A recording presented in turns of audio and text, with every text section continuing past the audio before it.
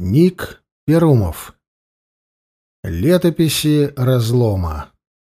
Война мага. Том 3. Эншпиль. Читает Сергей Уделов. Аннотация. Еще недавно злейшие враги, воевавшие друг против друга у Черной башни, некромант Ниясыть и инквизитор Этлау, оказываются по одну сторону баррикад в борьбе за Аркин, святой город. Им приходится на время забыть прошлое разногласия и объединиться против нашествия империи клешней. Иначе может не оказаться ни правых, ни виноватых. Спасать Эвиал им помогают маги Ордосской академии и волшебный двор. Клара Хюмель, Сильвия и Динтра — а также непримиримые соперники эльфы Нарна и Вечного леса. Только вместе они могут отстоять само существование жизни. Ник Перумов. Война мага. Том 3. Эншпиль. Об Эвиальском календаре. В первой книге цикла «Хранитель мечей» романе «Рождение мага» автор использовал привычные читателю названия месяцев — январь, февраль и так далее. Хотя, разумеется, в Ивиале не было ни Юлиев, ни Августов. Я поступил так лишь для облегчения понимания и ориентации. Город в мире Эвиала продолжался 360 дней, тождественных земным суткам, и разбивался на 12 месяцев, что соответствовало прохождению светила по созвездиям местного зодиака. Год начинался с зимнего солнцестояния, с самой длинной ночи. Каждый месяц имел несколько наименований, использовавшихся в различных обстоятельствах. Так Святая Церковь использовала календарь, где месяцы назывались по страстям Спасителя, пережитым им в Ивиале во время первого пришествия — согласно священному преданию.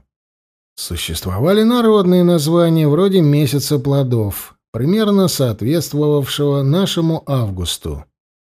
Выстраивая таблицу соответствия месяцев, надо помнить, что год в Ивиале, во-первых, короче земного на пять дней и начинается на восемь суток раньше. 22 декабря по нашему счету является первым днем Нового года по-ивиальски. Для каждого земного месяца в Ивиале есть свое книжное, народное и астрологическое название, а также свой период времени. Январь. Месяц стужи. Студник, хладень. Лебедь. 22 декабря, 20 января. Февраль. Месяц бури. Вьюжник, сметень. Корона. 21 января, 19 февраля. Март. Месяц света. Светенник. Ярень. Щит. 20 февраля, 22 марта. Апрель. Месяц воды. Таянник. Журчень.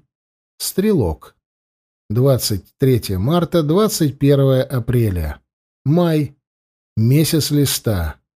Цветенник. Листвень.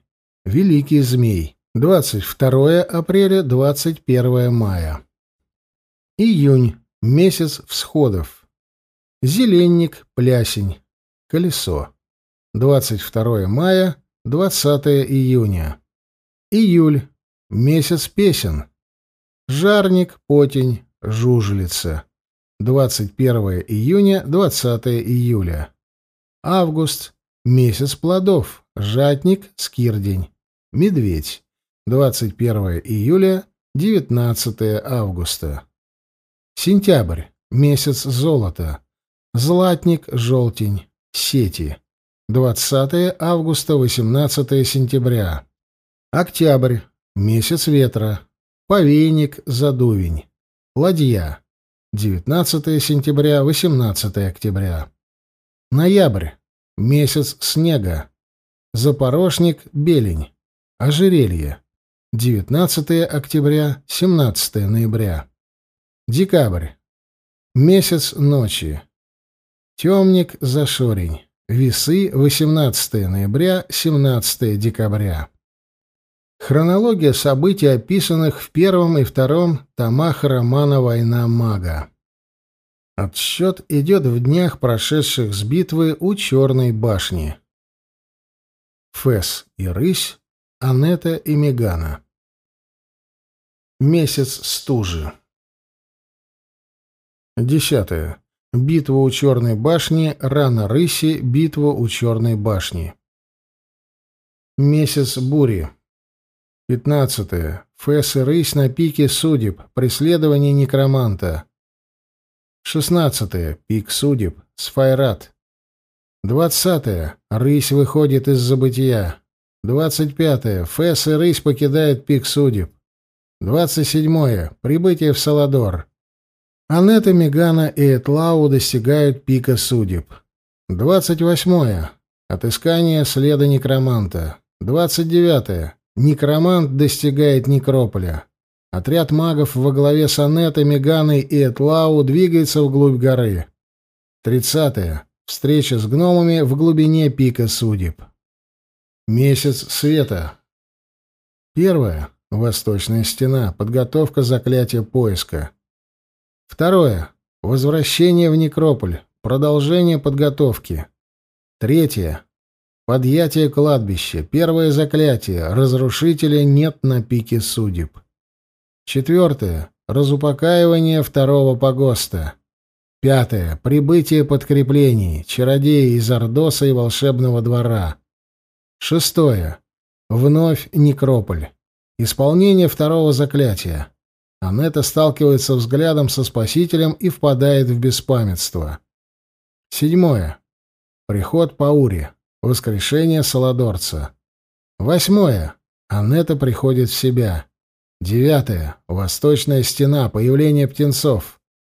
Десятое. Фэс вычерчивает большую магическую звезду. Одиннадцатое. Мигана по-прежнему тянет время. Двенадцатое. Этлау получает весть о Фессе. Тринадцатое. Фесс пересекает границу Саладора и Микампа. Покушение Миганы на Этлау, бегство Инквизитора и исчезновение хозяйки волшебного двора. Пятнадцатое. Речь Анетты перед войском. Шестнадцатое. Некромант Рысь и Фейрус обнаруживают птенцов. Мятежные полки начинают медленное движение на юг.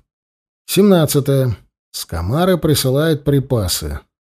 Анетта и его небольшое войско продолжают марш. Двадцатое. Фэс подчиняет костяных драконов. Встреча Анетта с Вейде, прерванная нападением воинов Бреннера. Двадцать третье. Битва с инквизиторами и микамским ополчением на реке. Двадцать четвертое. Клара настигает Фесса и отбирает мечи. Двадцать пятое. Некромант приходит в себя. Двадцать шестое. Фесс и рысь вновь на пике судеб. Месяц воды. Второе. Погоня за птенцами. Шестое. После марша через Эгест сражение с птенцами Саладорца. Седьмое. Войска Фесса достигают предместьев Аркина. Восьмое. Фесс поднимает последнее кладбище вокруг святого города. Девятое. Некромант Фейрус и рысь Асанне прорываются в аркинские катакомбы и встречаются с отцом Этлау.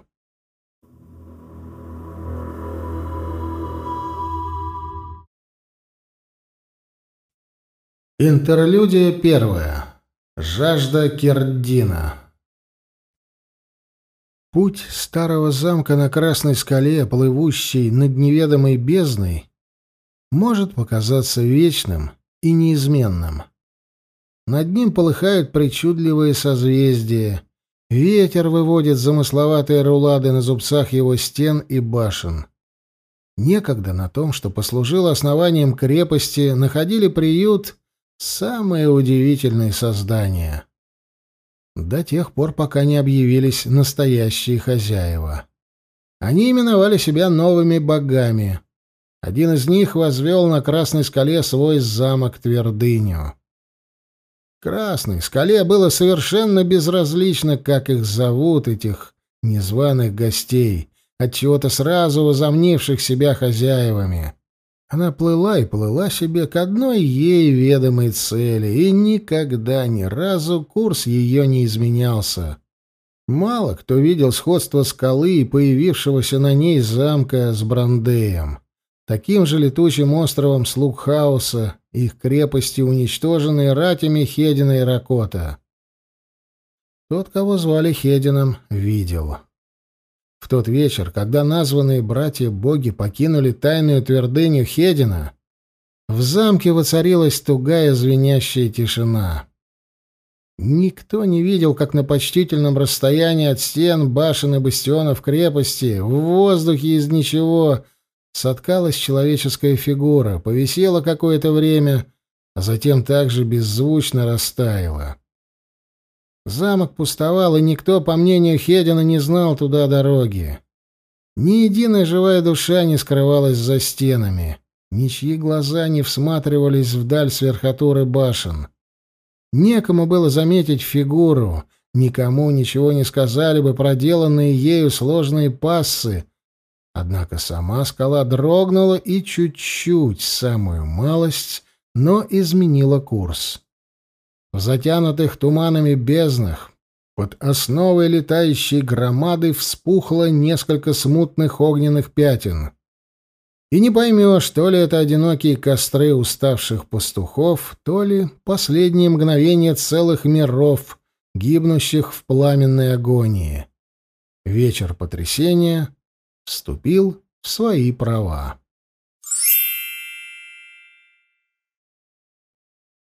А далеко-далеко от зачарованного замка, над бездной, небо Кирдина послушно раскрылось, раздаваясь, словно утроба роженицы. Двое бесчетные века, именовавшие друг друга братьями, новые боги упорядоченного вступали в мир, один из множества средь доверенного им владения. Их подмастерья уже действовали здесь и потерпели неудачу. Стремительная Гелерра при всех ее талантах ничем не могла помочь миру, погибающему, словно от вампирьего укуса. «Да», — протянул Ракот, когда двое богов очутились на краю взметнувшейся к поднебесью скалы. «Дело для Эвиль. Когда она, наконец, окажется здесь?»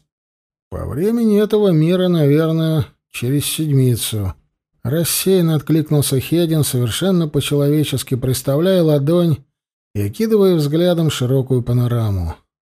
Острая, словно клык неведомого чудища, насквозь пронзившая земную твердь, каменное навершие поднималось к облакам. Вернее, поднималось бы, потому что облака уже давно исчезли с небес обреченного мира. И сами небеса словно выгорели — Голубизну разбавило гнилостно-зелено-желтым. Леса далеко внизу тихо облетали, горестно шурша последними листьями. Приготовившись к смерти, словно доблестные, не знающие отступления бойцы проигравшего войска. Внизу вольно раскинулась широкая равнина, некогда зеленеющая, сейчас иссушенная, рассеченная в нескольких местах коричневатыми росчерками опустевших речных лежбищ. «Как в Мясницкой, где давно не убирались». Ракот мрачно обозревал унылый пейзаж. «Кстати, если тебе интересно, замок местного властелина вон там, за теми холмами». Хедин кивнул. «Тоже чувствую.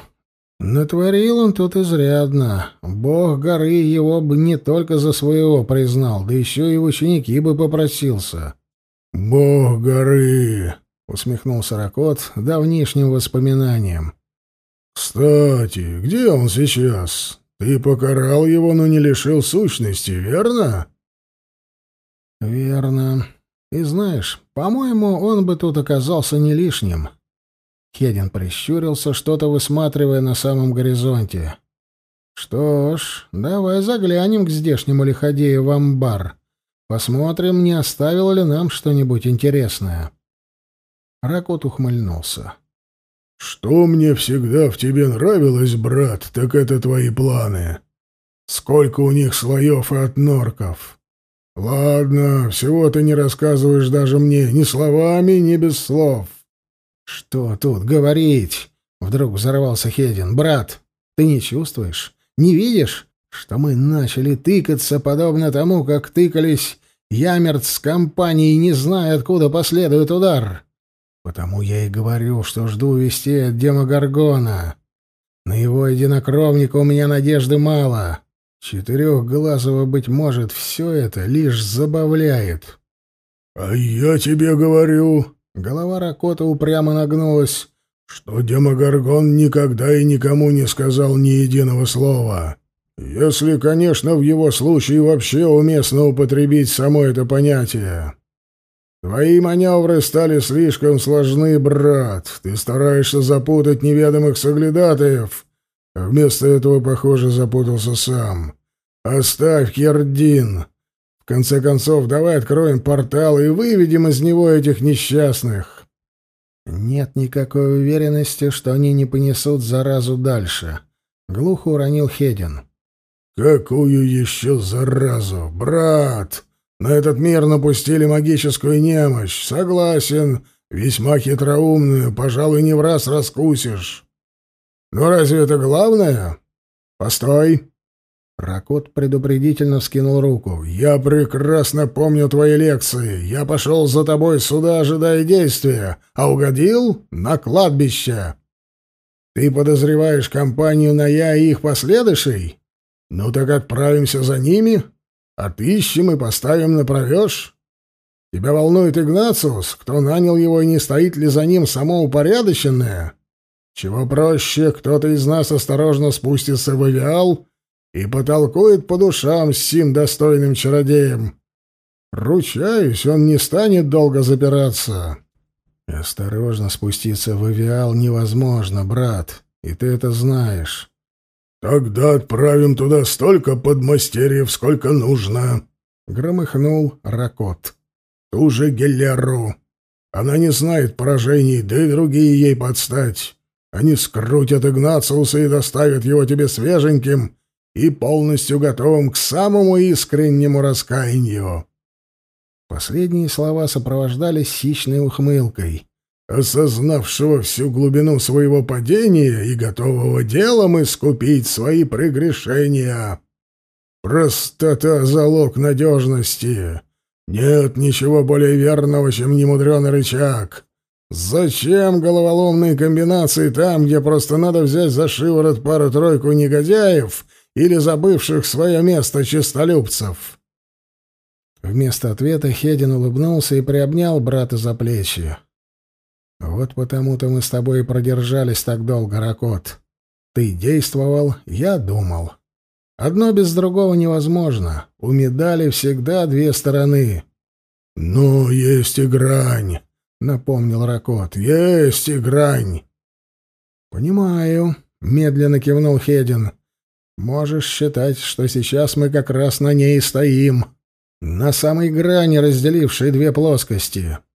«Тьфу, пропасть!» — уныло сообщил Ракот грязно-зеленым небесам. «Ну что за невезение иметь брата Бога, спустя столько тысячелетий так и не избавившегося от пристрастия к якобы многозначительным афоризмам. Ну при чем тут какие-то грани, Хедин?» Так и хочется сказать что-нибудь вроде «Когда я был властелином тьмы?» Воитель хмыкнул. «Нам еще очень пригодятся твои таланты из того времени», — негромко проговорил Хедин. «На этот счет можешь быть спокоен». Он нагнулся, подобрал острый сучок, принявшись чертить на пыльной, потрескавшейся земле какие-то знаки. Ракот глянул ему через плечо. «Вергати», «В Эргате нас слушают», — гласили руны, древний язык темных армий, созданный Ракотом для своих подопечных.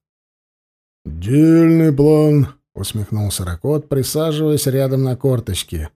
«Но, по-моему, лучше сделать вот так». Он выдернул кинжал. «И при этом не смотрят», Появились рядом новые руны. Только магические проявления. Как давно ты узнал? Только что. Когда очутились в Кирдине. Писать пока можно, до срока.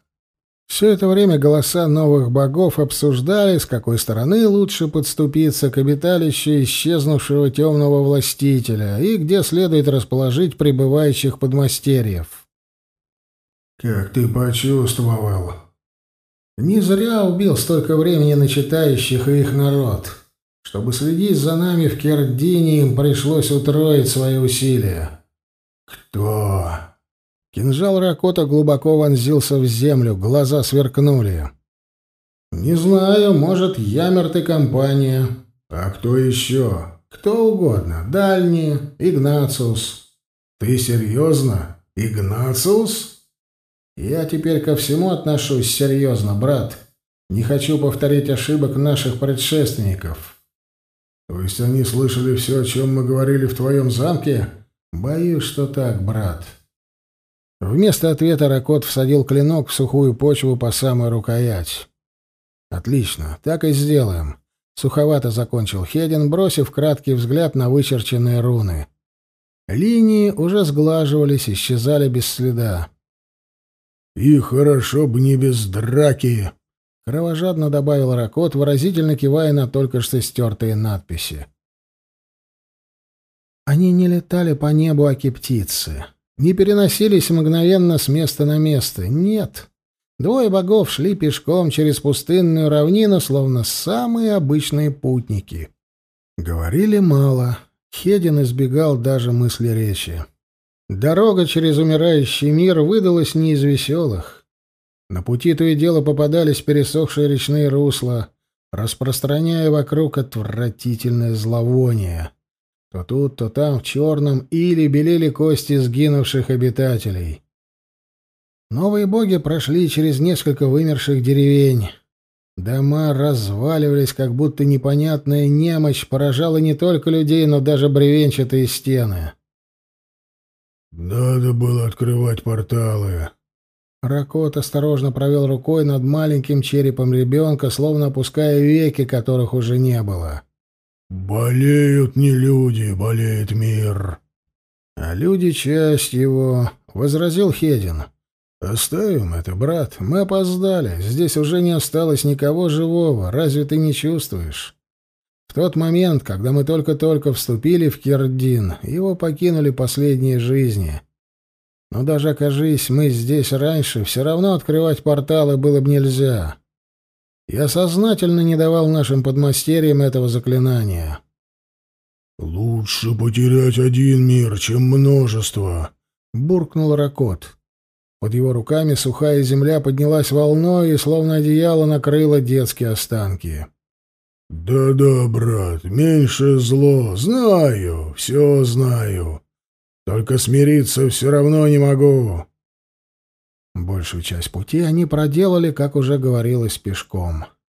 Лишь изредка Хедин принимал свой излюбленный облик коричнево-крылого сокола, а Ракот оборачивался черным драконом.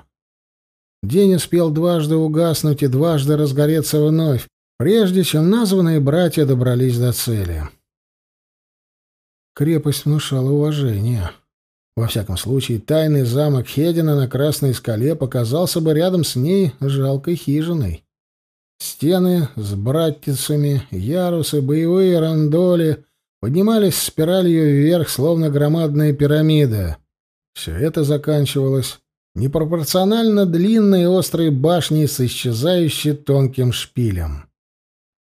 Братица, крытый выступ, идущий поверху крепостной стены с бойницами в полу, позволявшими сбрасывать камни и тому подобное прямо на голову неприятеля, находящегося у самой подошвы стены. Широкий ров пересох, на дне валялись обломки подъемного моста, могучие ворота из черного кованого железа сорвало с петель, изломало и отбросило далеко в сторону. Кое-где серую поверхность стен вблизи от главного входа покрывали оспины выбоин, словно кто-то методично расстреливал укрепления из катапульт. Однако в целом твердыня казалась совершенно целой. Гилерра захватила цитадель без боя. Братья-боги остановились на самом краю тщательно облицованного гладким камнем рва. На дне валялся успевший неведомым образом побелеть костяк какого-то существа размером с хорошего дракона. Надо полагать, прежде эта тварь и ей подобные обитали в заполненном водой рву. Лучших стражей не придумаешь, особенно если держать их не слишком сытыми. «За сколько же времени он это все выстроил?» — поинтересовался Ракот, рассматривая массивные укрепления. «Какая разница?» — рассеянно отозвался Хедин, направляясь прямо к краю рва. «Пошли». Он сильно оттолкнулся, одним прыжком оказавшись в проеме ворот. «Божественность иногда оказывается очень полезной». Его товарищ не заставил себя ждать. «Ну да, особенно когда тебе приходило в голову сыграть неуязвимого воителя». Насмешливо откликнулись из подарки. «Ерунда!» — возмутился Ракот. «Никогда этим не баловался. Я всего лишь принимал физический облик наилучшим образом соответствующий. Ладно, ладно, махнул рукой Хедин. Знаю. Перевитый мускулами черноволосый голубоглазый варвар. Очень удобная личина. Я, впрочем, повелитель, сложив крылья, гарпия Гилера отточенным движением опустилась прямо с небес на одно колено перед Хедином. Повелитель, все готово. Мы обыскали крепость от верхушки шпиля до самых глубоких подземелий и отводных ходов. Ничего необычного. Никаких магических артефактов. Какие будут приказания, повелитель? Ты составила план крепости, Гилерра? О да, повелитель. Гарпия едва повела кончиком изящного крыла. Прямо в воздухе соткалась алая сеть переходов, залов и казематов. «Алтарь», — заметил Ракот, мельком вглядевшись в схему. «Алтарь, о могущественный!» Еще ниже поклонилась крылатая воительница. «Мы нашли следы жертвоприношений. Больше всего людей, но есть и иные расы, как наделенные магическим даром, так и нет». «Как ты думаешь?» Прищурившись, Хедин рассматривал висевшую перед ним карту. «Почему здешний владыка сбежал без боя?» Возвести столь внушительные бастионы, потратить ум и времени, силы и бросить в единый миг. Одни лишь имена великих Хедина и Ракота внушают ужас их врагам, — гордо выкрикнула Гарпия. Она не льстила, не подлизывалась, она действительно истово в это верила. «Если б так», — проворчал Ракот. Его названный брат лишь сощурился и ничего не ответил. «Проведи нас, пожалуйста, к алтарю, Гилера». «Повинуюсь». По-прежнему стоявшая на одном колене гарпия истово поклонилась и в единый миг очутилась в воздухе. «Великих, прошу следовать за мной». Она заложила акробатический пируэт и легко понеслась вперед, играючи, ориентируясь в лабиринте узких улочек, круто поднимавшихся в гору к самому сердцу цитадели. «Здесь даже крыс не осталось», — проговорил Ракот. «Никуда не делись, бежать некуда, так что просто передохли, а уж их-то, казалось бы, никакая зараза не берет». Вместо ответа Хедин замедлил шаги возле тонкой высокой дозорной башни, приткнутой на углу, похоже, исключительно для красоты. Нагнулся, подобрал осколок кирпича. «Внимание!» Появилась руна на стене. Говорим об алтаре, должны себя проявить. Я про то же, ответил Ракот. Жду, как только вошли в крепость. Хедин молча кивнул, отбросил затупившийся обломок. Цитадель бессмысленно пялилась на них черными провалами окон. За ними ни рам, ни занавесей, ничего свойственного жилью. Кем он повелевал, этот властелин? Ракот распахнул широкие створки деревянных ворот в двухэтажном здании. За ними открылся широкий двор с глубокими ямами, стены и дно облицованы камнем. Всюду вделаны в кладку кольца с цепями и ошейниками. «Гилера?» «Половина его подданных люди, повелитель». Гарпия мгновенно оказалась у братьев над головами. «Наемники. Остальные чудовища, но куда меньше ожидавшегося. Почти всех мы перебили еще на взморье. «Так я и думал, что люди», — фыркнул Ракот, презрительно пнув створку. Она сорвалась с петель, пролетела десяток сажений и с грохотом рухнула в ближайшую яму. «Ни драконами, ни кем-то столь же серьезным тут и не пахнет». «Его армия была сильна магией, повелитель», — позволила себе пояснение Гилерра. Хедин кивнул. «Не замкнул ли он на себе все доступное этому миру чародейство?» — задумчиво проронил Ракот. «Я с таким встречался.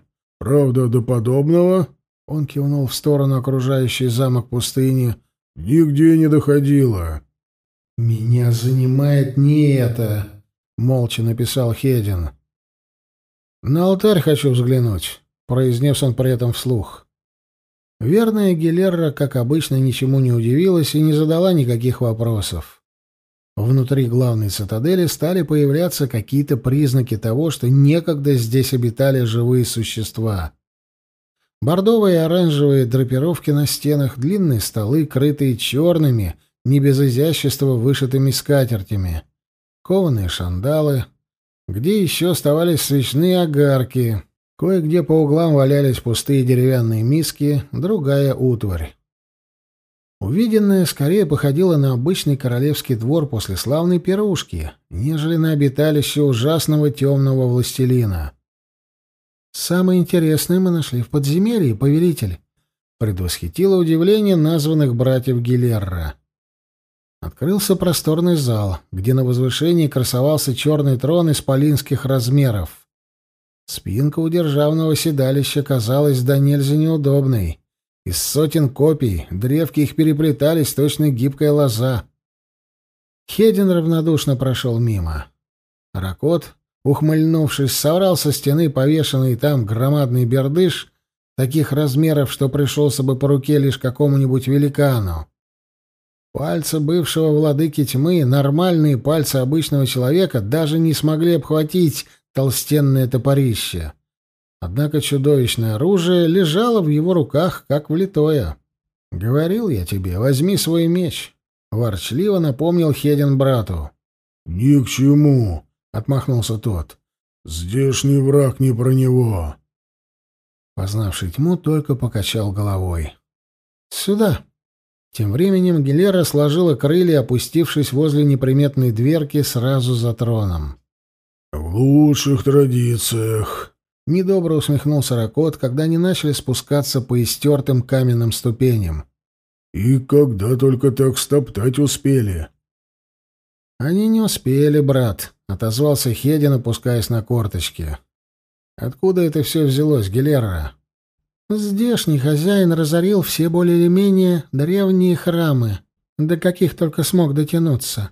Немедленно отозвалась исполнительная гарпия. «Собирал намоленное», — кивнул Ракот с усилием, протискивая за собой чудовищный бердыш, с которым он почему-то не пожелал оставаться. «Это не обманка», — написал Хедин на стене, воспользовавшись железным конусом для факелов. Сейчас он намеренно прибег к символам, понятным для Гарпии. Гелера сверкнула глазами, почтительно поклонилась, выдернула кинжал, каллиграфически добавила снизу. Крепость настоящая. Они не стали драться, потому что были слабы. «Если бы...» — возразил Ракот. Что-то здесь было странное в этой крепости. И дело даже не в залах, стенах или бастионах. Что-то неладное творилось тут и с магией. Хедин часто останавливался, замирал, крепко зажмуриваясь, словно к чему-то прислушиваясь. Постояв так, досадливо встряхивал головой и шагал дальше. Винтовой ход закончился в подвалах. Тут до сих пор висел тошнотворный запах крови и внутренностей. Хедин невольно вспомнил жуткие чертоги бога горы. Повсюду разбросаны многочисленные пыточные приспособления, на полу темные пятна. В одном месте на зловещего вида мясницкой колоде валялся кожаный палаческий фартук. «Узники Гелера». «Мы никого не нашли, повелитель. Отступавшие перебили всех. Тела сброшены в колодец с трупоедками». «Это еще кто такие?» — нахмурился Ракот. Здешний властелин на досуге занимался выведением новых сортов полезных ему растений, пояснил Хедин. Из обычной росянки-мухоловки смострячил, слова другого не подберу такое, что... Он только махнул рукой. «Там нет от норка!» — повернулся к Гарпии Ракот. «В этом колодце!» «Великий повелитель сомневается в моей тщательности?» Гилера опустила глаза. «Там нет никаких ходов». «Тогда надо все сжечь», — решил Хедин. «Не хочу, чтобы хоть одна спора вырвалась на поверхность». «Да тут и так кладбище», — заметил Ракот. «Даже если вырвется, все равно сдохнет, за неимением пригодных для поедания трупов». «Мало ли кто-то шляться может», — неопределенно отозвался Хедин. «Ты отослал ее, брат. Зачем?» «Много будет знать, скоро состарится», — вслух ответил Хедин. Его руки выводили в это время. Жду, когда они начнут. Думаю, что взорвут всю крепость, когда мы спустимся еще ниже. Или даже сейчас. Тогда пошли, чего время терять? Невозмутимо ответил Ракот, поудобнее перехватывая великанский бердыш. В его руках легкий, словно перышко. За уровнем камеры пыточных начинались казематы, где явно варили магические декокты и наделяли волшебными свойствами оружия. Обычный чародей, окажись он сейчас здесь, решил бы, что ему наконец-то привалила настоящая удача. Магдалины тоже нашел бы чем поживиться. Однако новые боги проходили мимо всего колдовского инструментария, даже не повернув головы. Хедин не зря высоко ценил Гилерру. Гарпия была совершенно права, ничто из находившегося здесь не заслуживало и взгляда. Столы и станки с зажатыми в штативах драгоценными камнями или, что тоже встречалось, обезображенными конечностями или органами, вырванными у живых существ и людей и нелюдей, запасы каких-то трав, клетки с умертвленными змеями и иными гадами, низкие закопченные потолки, камины очаги, разинувшие почерневшие пасти, где точно сгорела не одна жизнь, калительные печки, колбы и реторты, соединенные холодильными змеевиками. Несколько замысловатых стеклянных сооружений Ракот с особым удовольствием разнес в пыль своим жутким бердышом. Еще ярусом ниже находились заклинательные кельи, где, как пояснила Гилерра, держали чародеев, осмелившихся бросить вызов здешнему хозяину. Их каким-то образом удавалось использовать даже против их собственной воли. «Алтарь здесь, повелитель». Гилера остановилась у низкой арки в пору разве что какому-нибудь гному. Хедин вновь ограничился кивком. «Внимание!» «Сам знаю», — с ухмылкой отозвался Ракот. Зал, где совершались жертвоприношения, оказался высечен в толще живого камня. Кирпичная кладка уступила место тщательно отполированным стенам. Низкое помещение, ни новые боги, ни Гилерра не могли даже выпрямиться в полный рост, тянулось на десятки сажений. Здесь царил кромешный мрак. По старой привычке Хедин небрежно повел рукой, и в кольцах по стенам сами собой вспыхнули многочисленные факелы. Стали видны ряды глубоких ниш, где застыли уродливые изваяния.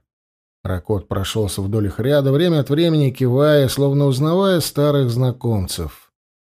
«Кого-то вспомнил, брат?» — окликнул его Хедин, остановившийся у алтарного монолита. «Не то слово», — буркнул Ракот, возвращаясь. «Почти всех встречал». «Лицом к лицу?» «Именно, брат, вон тот». Бывший владыка тьмы махнул рукой в сторону ближайшего идола. «Да, тот со щупальцами на голове и шестью руками. Бар-Агор, мелкий божок, возжаждавший, как и положено таким натурам, всевластия. Зачем ему всевластие и что он станет с ним делать, бедняга, конечно же, не понимал, потому как его убогая фантазия не простиралась дальше груды сокровищ и тринадцатилетней девственницы на обед». Но способности у него имелись, равно как и воля с упорством. Он действительно докопался до любопытных вещей в ритуальной магии. Нашлись адепты, кто записал это в книге. Конечно же, с переплетами из человеческой кожи. Хедин позволил себе усмешку. «Разумеется. В конце концов, злодейство этого самого Барагора дошли до слуха м -м, одного странствующего воителя.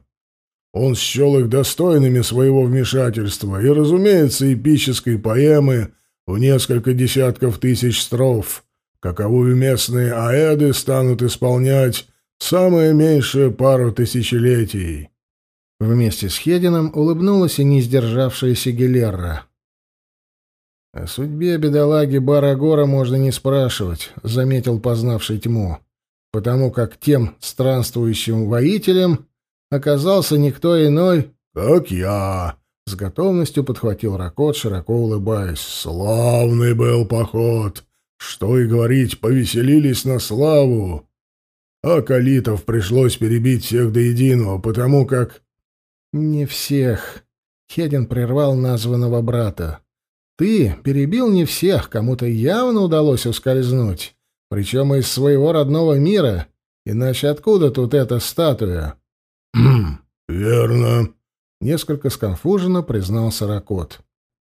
Новые боги и гарпи остановились у жертвенного камня. Гилера ждала приказов. Ракот что-то ворчал себе под нос, время от времени косясь на статуи в нишах. Верно вспоминал былых знакомцев. Хедин же просто застыл, сам сделавшись подобным изваянию. Здесь, в сердце пустой крепости, он ждал вражьей атаки. Давным-давно, когда вокруг Хидинсея море кипело от крови, он поступал точно так же. Давал возможность врагам обломать зубы о его неприступные бастионы с тем, чтобы потом нанести разящий контрудар. Что же они медлят? И он, и Ракот, вот они, в самом сердце тщательно подготовленной для них ловушки. Мышеловка должна вот-вот захлопнуться. Чего же еще ждут те, кто ее насторожил? Чтобы победители спустились глубже или начали что-то делать с алтарем? Может, ничего внешнего здесь вообще не предвидится, и тщетна его Хедина надежда отыскать приводную ниточку, тянущуюся к... Кому? Компании на «я»? Дальним? Кому-то совершенно иному, о чьем существовании до сих пор не подозревали даже они, новые боги? «Стой», — сказал он себе, — «какие еще совершенно иные?» «Рассуждай трезво, Хедин, твоя божественность, к сожалению, не включает в себя всеведение. Приходится уповать на методы смертных». Но время шло, идолы тупо и злобно пятились из своих ниш, а ничего не происходило. Атаки не последовало, основания замка не затрещали, не рухнули стены и потолки, Башни не провалились в раскрывающиеся подземелья. Ракоту наскучило стоять без дела, он вновь отправился рассматривать уродливые статуи, по-прежнему небрежно волоча за собой исполинский бердыш. Названному брату Хедина пришлось изрядно согнуться и втянуть голову в плечи, чтобы не отбить макушку о низкие своды. Гелера осторожно переводила взгляд с напряженного, окаменевшего лица Хедина на непривычно согнутую спину Ракота и тоже не шевелилась. «Надо же!» — услыхали они бас бывшего владыки тьмы. «Занятные тут идолы! Кажется, оживают!» Ракот не удивлялся, не предостерегал.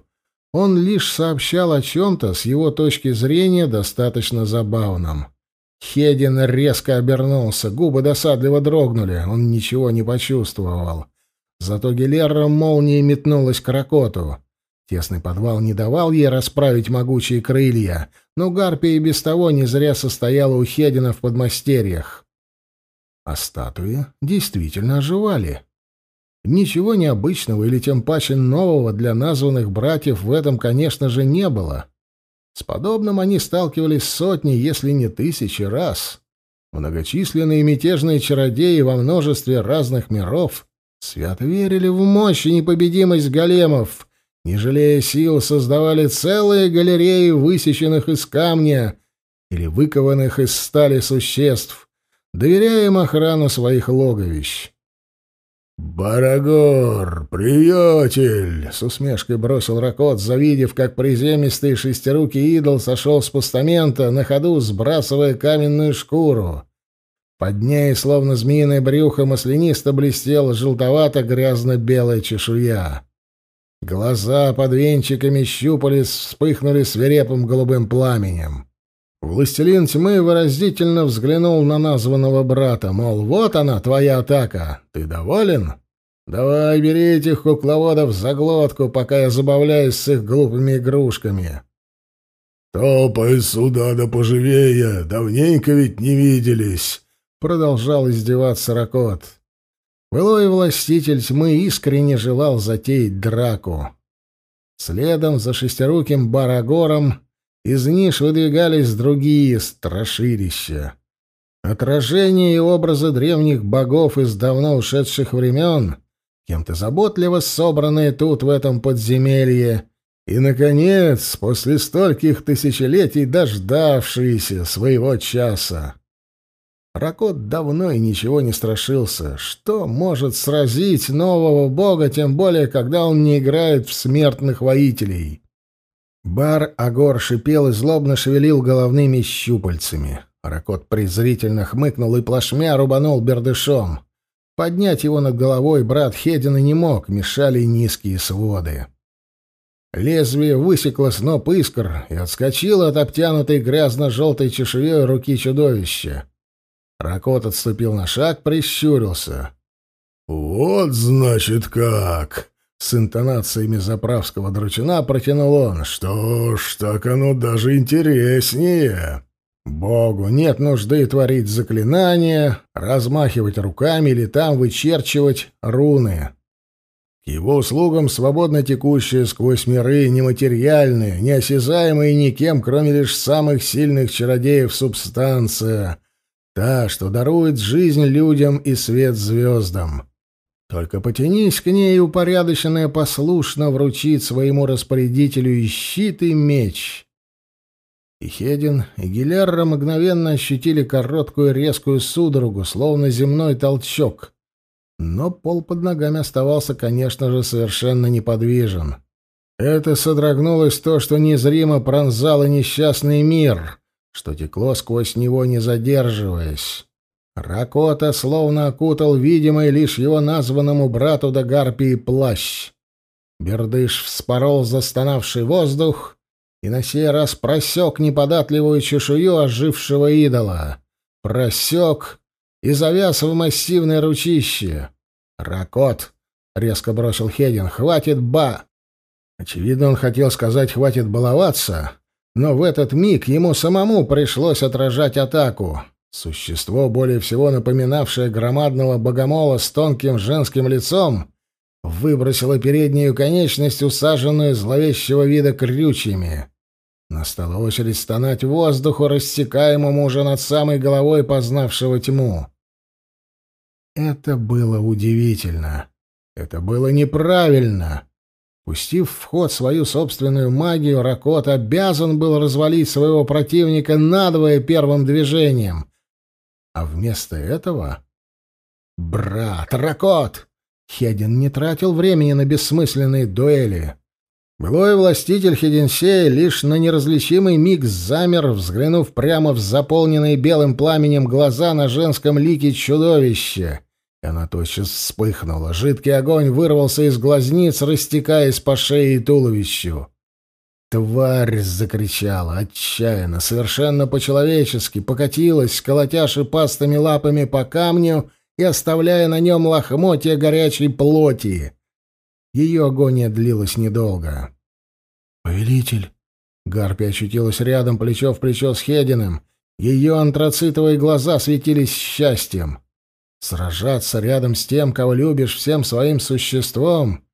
Чего еще надо, гордой Гелерия? На них надвинулась еще пара оживших идолов, массивные человекоподобные создания в низких рогатых шлемах с широченными резаками в руках. Гарпия, легко отбив выпад, ответила стремительным уколом в шею, точно вогнав обманчиво тонкий игольчатый трехгранный клинок прямо в щель между краями шлема и панциря. Оружие вспыхнуло зеленым и вырвалось из ее рук, а удар массивного щита отправил Гелерру на пол. Хедин что-то резко скомандовал на никому, кроме него и Ракота, неведомом тут языке. Идолы сперва оцепенели, а потом вяло, словно нехотя, повернулись спинами к познавшему тьму, приняв на себя следующую атаку своих недавних собратьев. Но двигалась эта пара неловко, замедленно, и двое атакующих смяли их в считанные мгновения. Ракот тем временем молодецки рубился с Барагором. Конечности существа густо покрывала ярко-алая кровь.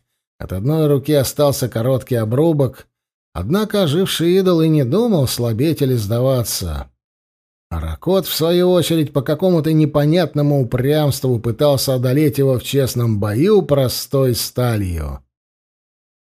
Идолы один за другим сходили с постаментов, равнодушно перешагивали, переползали или перепрыгивали через истерзанные останки своих предшественников. Ракот отмахивался бердышом. Хедин заставлял потерявшую сознание Гилеру плавать в воздухе у себя за спиной и, отбивая очередную атаку, все еще чего-то ждал. И дождался. Первой начала изгибаться стена, где до этого в нишах дремали идолы. Камень с треском лопался, но Крошева и не думала осыпаться на пол. Оно двинулось на Хедина темной тучей. Уже по-настоящему затрясся и заходил ходуном пол, раскалываясь и вздымаясь самой настоящей волной. Что-то тяжко гудело и содрогалось под потолком. Замок разваливался, но как-то уж очень странно. Обломки оставались висеть в воздухе со всех сторон, надвигаясь на новых богов, подминая под себя и обращая в такие же обломки, оказавшихся на их пути идолов.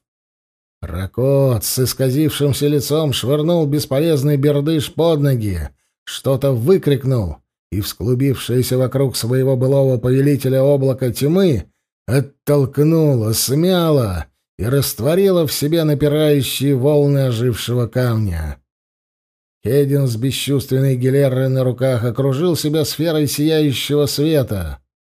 Названные братья сходились спина к спине, свет и тьма сливались воедино, а сверху все рушились и рушились живые лавины. Камень подземелий принимал новое обличье, чудовище, двуногие, похожие на людей, крылатые создания и просто комки с глыбами, безымянные солдаты неведомой новой армии. Новые боги только и успели обменяться краткими взглядами. Ракот с видимым усилием скинул руки над головой, словно ныряльщик на краю обрыва, под которым плещутся морские волны и в кипящий хаос рушащихся сводов вонзился пламенно-алый клинок, с трудом прокладывая себе путь сквозь ряды неведомого войска. Следом за ним окруженные слитой из света и тьмы броней поднимались и познавшие тьму с Гелеррой. Меч Ракота резал громады ожившего камня, тысячи слепящих молний били из темных рядов, защищавший новых богов щит. Шипя и пузыря стекли потоки расплавленной тверди. Клубы едкого дыма заполнили немногое остававшееся свободным пространство. Но сфера с Хединым, Ракотом и Гелерой внутри все же поднималась. Ни один человек, гном, орк или даже бессмертный эльф не выжил бы в эпицентре этого катаклизма. Стало нечем дышать. Ракот весь в поту удерживал меч, кромсающий каменные волны. Хедин с тревогой заглядывал в лицо бесчувственной Гилерия. «Скорее, брат!» «Как могу?» — прохрипел Ракот. «Тут такое навалилось! Помогай!» По лицу Хедина прошла судорога мгновенной боли. Боги тоже не неуязвимы. Одной рукой удерживая гарпию, Хедин положил вторую на плечо Ракоту, и тот сразу попытался расправить сутулившиеся было плечи. Огненный меч пошел скорее. ничего невозможно было разглядеть. Ожившее каменное море сомкнулось вокруг названных братьев. Мрак рвали молнии, короткие, словно нож ночного убийцы. То и дело всплывали отдельные части разорванных на куски, но тем не менее очень даже живых идолов. То бар-агор, лишившийся нижней половины туловища, но по-прежнему разевающий пасть, лапал пятью оставшимися ручищами тусклую поверхность защитной сферы — Лапал и тотчас отдергивался. Рев твари тонул в грохоте чудовищного обвала. Казалось, это никогда не кончится.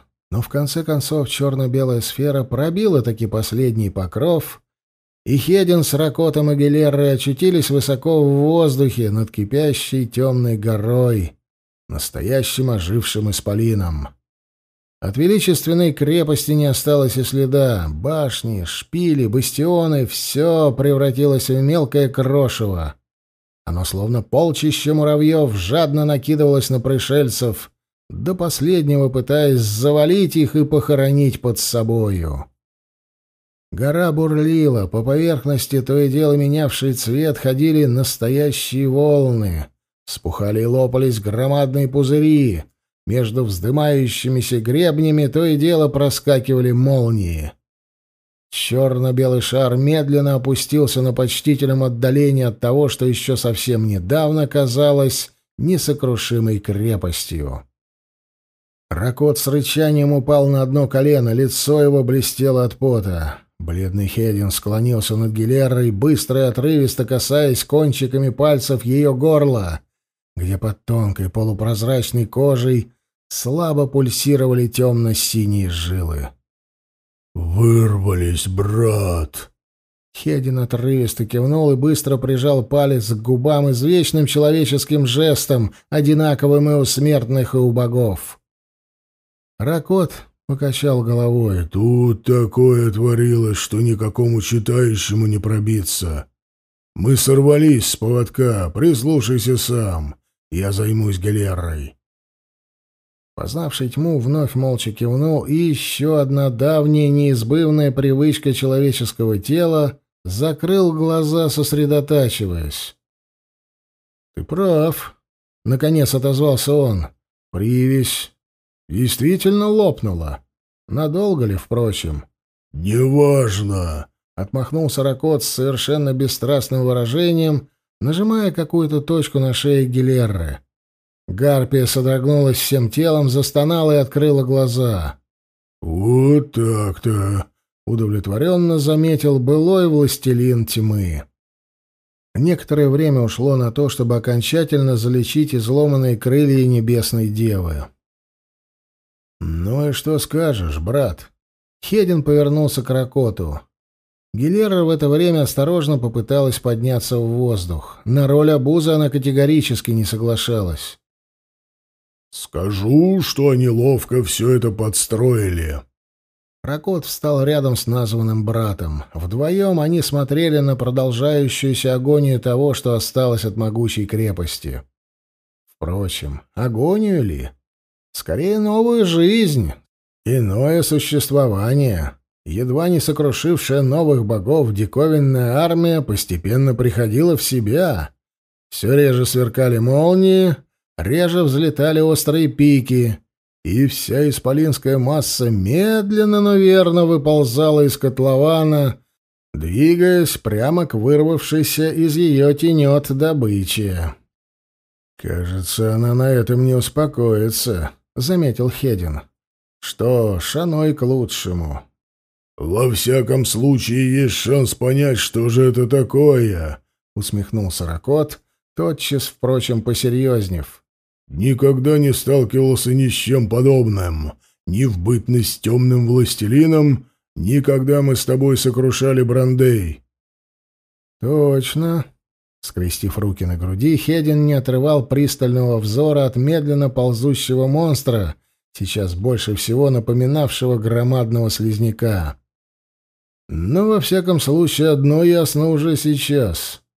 Они не столько хотели разделаться с нами, сколько проверяли, на что мы по-настоящему способны, когда станем сражаться за свою жизнь», — докончил Ракот. «Вот как?» — Хедин поднял брови. «Именно. Суди сам, брат. Они пытались уничтожить наши тела, ни что иное. Хотели выяснить, как далеко простирается действие закона равновесия на нас самих. Но они действительно привели в действие исполинскую мощь. Задумчиво проронил Хедин. Такую мощь, что весы не могли не покачнуться, они неизбежно покачнулись бы.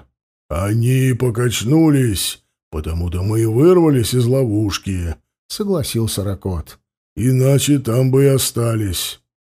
«Нет, не потому. Смерть Кердина. Теперь мне кажется, что я понимаю. Каким-то образом они или он собрали в одно место всю разлитую по миру магию, всю животворящую силу. Я зря надеялся на Эвиль. Даже эльфийке-вампиру такое не раскусить и не распутать клубок управляющих заклинаний. «Это не похоже на Ямерта и же с ними», — негромко проговорил Ракот. «Согласен, я больше скажу. Это и мне не под силу», — признался Хедин. «Умертвить целый мир, обратить все это в единое заклятие». Идолы послужили отвлекающим маневром. «Точно! И, надо признаться, мы с тобой дали себя отвлечь!» Ракот мрачно осклабился. «Ты, я вижу, выходишь из личины воина-варвара очень хорошо», — не без ехидства заметил познавший тьму. «Не настолько сильно и приросла ко мне эта маска!» Не слишком любезно огрызнулся Ракот. «Это же очевидно. Выбрать для атаки не нашу сущность, а материальную плоть. Именно проверять, как далеко мы пойдем, сопротивляясь. И позволяет обойтись сравнительно малыми силами». «Ничего себе малыми!» «Чтобы устроить такую же ловушку для нашего с тобой божественного...» Ракот прищелкнул пальцами. «Боюсь, потребовалось бы умертвить сотню таких миров, как Кердин». «Не беспокойся, умертвят», — мрачно посулил Хедин. «Они ни перед чем не остановятся. Мораль, какая бы ты ни была, им чужда». «Дальняя», Словно пробуя слово на вкус, задумчиво проговорил Ракот. «Почти уверен, кто еще способен организовать такое?» «Я страшусь очевидного», — признался владыка тьмы. «Ты? Ты можешь чего-то страшиться?» Кажется, Хедин действительно поразился. «Раньше нет, а теперь да», — мрачно отвернулся Ракот. «И мне не нравится, что о нас действительно многое узнали. Суди сам, теперь они понимают, что мы не смогли в единый миг перенестись куда подальше, что мы не смогли в тот же единый миг изменить нашу физическую форму так, чтобы опасность не грозила ни нам, ни Гелерре, что мы не нашли ничего лучше, как встретить силу силой. Вспомни, брат, когда Мерлин, светлая ему память, пустил в тебя то копье, как ты справился с ним?» Разъял заклятие на составляющие. Подняв бровь, заметил Хедин. Но то было совсем другое, обычное, понятное волшебство. Мерлин был одним из нас, сильнейшим, возможно, но не непобедимым и не непостижимым, а эти... До сих пор помню их атаку на Хиденсей, и боюсь, что все это время они тоже не сидели сложа руки, чему свидетельство. Он кивнул в сторону медленно ползущего слизняка. За ним оставался голый камень, черный и дымящийся. «Я бы все-таки не утверждал так категорично, что это именно дальнее», — остерег Ракот. «Есть, в конце концов, и много других, кроме даже компании Ная и твоего разлюбезного Игнациуса. Есть Спаситель, о котором мы вообще почти ничего не знаем, есть, если помнишь, новые маги, про которых вообще никто не вспоминал не весь сколько времени, а они ведь бессмертные. Замок всех древних разрушен, и поколения не сменяют друг друга. Есть мир Источника, где, насколько я знаю, так и сидит бессмертный Мимир. Есть и твари неназываемого. Никто ничего не сможет утверждать наверняка. Хедин не отрывал взгляд от ползущей темной массы. «Ну что, брат, не станем оставлять после себя грязи?» «Не станем», — согласился владыка тьмы. «Но тут нужно непростое заклятие, а?» «О да, конечно же, непростое», — съехидничал Хедин. «Сам бы я ни почем не догадался. Давай по-братимому?» Он не договорил, слов не требовалось. Ракот хищно оскалил зубы, сжал кулаки, на лбу вздулись вены. Две фигуры застыли, подобно тем самым идолам в подземелье. Темный слезняк тупо и неостановимо полз к ним навстречу, а потом... Нет, с небес не сошли волны пламени. Несчастная земля Кердина не разверзлась, просто передняя кромка ползущей массы стала менять цвет с черного на слепящий белый. Поднялись клубы пары, и лица новых богов исказились одинаковой болью. Кто знает, и кто опишет, как встречается с одной незримой силой другая, столь же незримая и неведомая. Вода точит камень, топор валит дерево, корни травы разрывают плоть скалы. Это все видимо глазу и понятно. Однако сейчас состязались не огонь, не молнии и не какие-либо орудия разрушения вообще. Даже мощи новых богов, которую они могли направить против нового врага, не хватило бы, если только не нарушать закон равновесия. Дать запертой в ожившем камне силе другую дорогу. То, что убивает, с такой же легкостью может и дарить жизнь. В этом отличие магического оружия от выкованного из стали.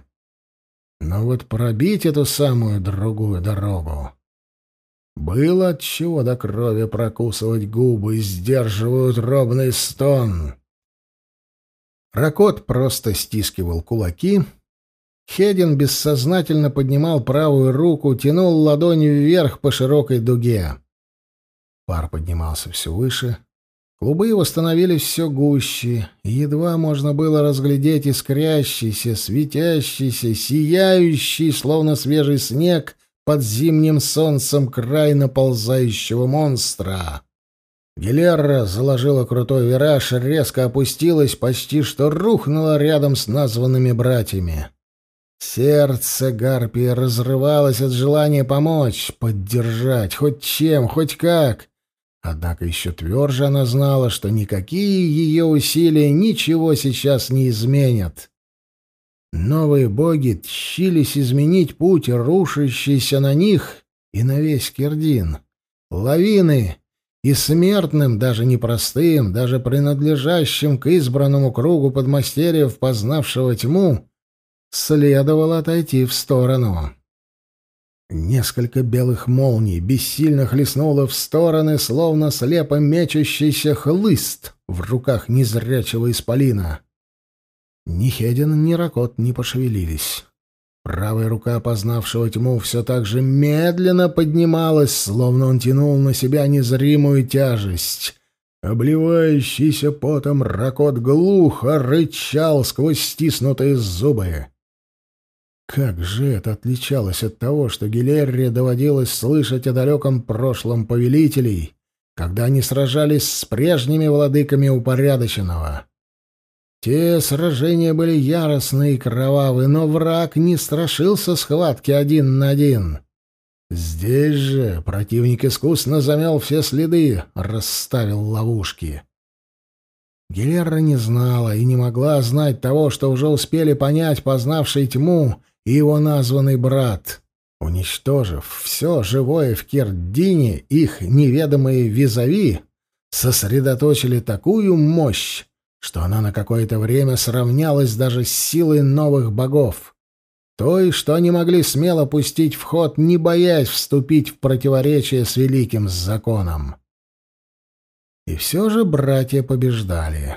Клубы шипящего пара поднялись до самого неба, закрыли горизонт, а мелькавшие в их разрывах снежно-белые щупальца каменного исполина уже не текли, не струились вперед, а завивались кольцами, пересекались, сливались, бессмысленно кружились на одном месте. А потом завеса пара внезапно исчезла. Мир Кирдина замер в абсолютной тишине, белая завеса сгинула, и на миг стала видна искрящаяся, совершенно неподвижная гора наподобие огромной сахарной головы. Все застыло, оцепенело, замерло, движение прервалось, и Гилерри показалось, что этот великан так и останется тут на вечные времена, настоящим монументом победе новых богов. Однако миг истек, и там, где только что возвышалась гора, устремился к пораженным злой гнилью небесам крутящийся смерч из сине-черного пламени. Белое и черное, две грани, два предела, а между ними — жизнь. Кирдин содрогнулся до самых глубинных своих оснований. Черный смерч становился все выше, пробивая воздушные слои, грозя дотянуться ненасытной пастью до звездных пределов, уже сотрясенных прокатившимся небывалым громом. Хедин резко уронил правую руку. Горизонт, казалось, сейчас встанет дыбом. Черное пламя, словно достигнув незримого предела, растекалось по небосводу жутковатыми, пугающими облаками. Однако небо за ними голубело, болезненная гнилость исчезала, а когда стол пламени рассеялся, расточившись за краем окоема, то на месте едва не погубившей братьев богов ловушки Остался только ровный зеленый луг, покрытый желтыми, дружно повернувшими к солнцу цветами. Плечи Хедина поникли. Тяжело вздохнул Ракот, попытавшийся дрогнувшей рукой утереть пот со лба. Гилерра метнулась к ним, однако оба брата бога остановили ее одинаковыми усталыми жестами. «Погоди!» «Не сейчас!» «Смотри, портал!» Среди цветочного великолепия медленно росла пара темных колонн, между ними трепетало призрачное покрывало всех цветов радуги. «Сработало, брат!» Ракот наконец справился с дрожью, утерев лоб тыльной стороной ладони. «Кто врата открывал-то? Сам владыка тьмы!» — слабым голосом отшутился Хедин. «Гелера!» — повернулся Ракот к Гарпии. Ирдин должны вновь вернуться люди. Я открыл портал, правда, только в один соседний мир. Пожалуйста, проследи, чтобы его нашли те, кто достоин. Возьми, сколько требуется помощников. И не мешкай, Гели, — мягко проговорил Хедин, словно извиняясь за то, что приказание гордой Гарпии отдавал не он сам, а Ракот. Это очень важно не менее важно, чем уничтожение этого.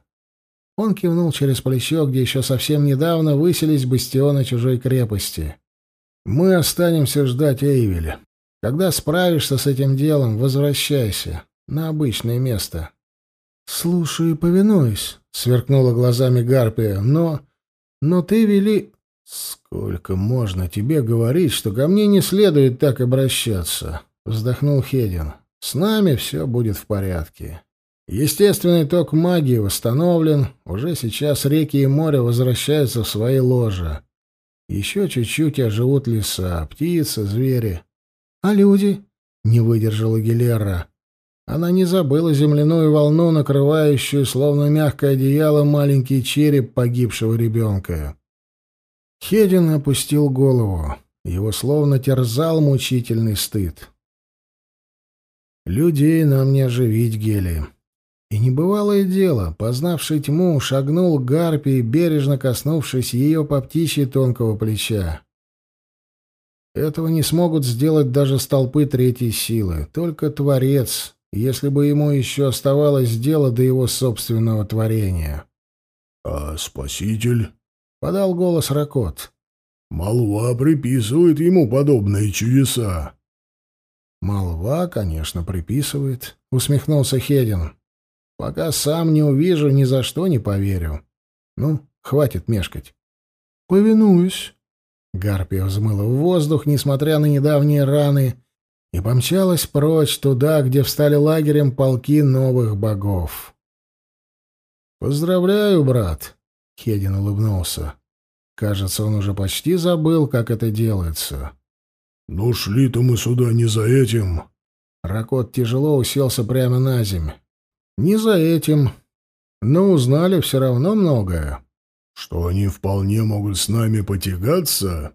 Что не остановятся перед убийством целого мира? А что будет, если под нож пустят не один мир, а сто?» Я уже сейчас ломаю себе голову, как это предотвратить. Сейчас им потребовалось, чтобы мы сами полезли головой в петлю. А если научатся чему-то еще, скажем, перебрасывать эту силу на расстояние...» Хедин ничего не ответил, только поднялся, плотно сжав губы. «Нам пора, брат». Мрачный Ракот промолчал. И пошлем за богом горы, хватит ему даром небо коптить. — А я бы вспомнил об ордене прекрасной дамы, — проворчал бывший властелин мрака. Хедин на миг сощурился, остро взглянув на друга-соратника. — Чего? — фыркнул тот. — Орден прекрасной дамы. Верные рыцари Сигрлин. Дисциплина даже не железная, она каменная. Не отступают и не сдаются, умирают с радостной улыбкой на устах.